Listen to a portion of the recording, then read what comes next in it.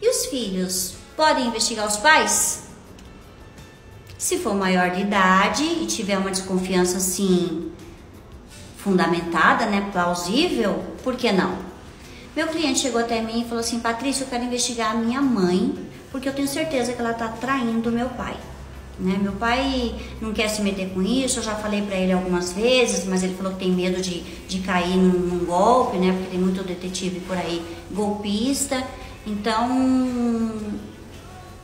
vim procurar você para ver se a gente consegue, se você consegue me ajudar. Ok, fizemos a investigação.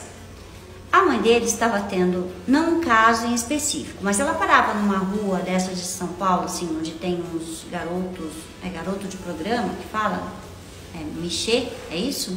Né? Me ajudem aí, porque eu também não, não entendo muito essas coisas.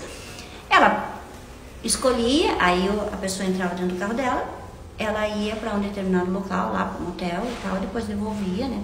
Deixava o menino no mesmo lugar e ia para casa. E isso assim, pelo menos umas duas vezes por semana.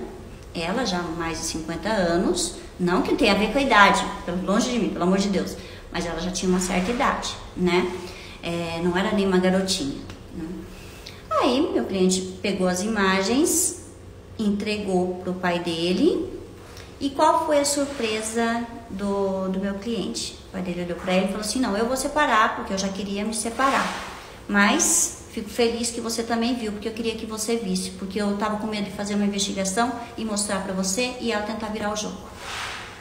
Teve separação, tudo certo.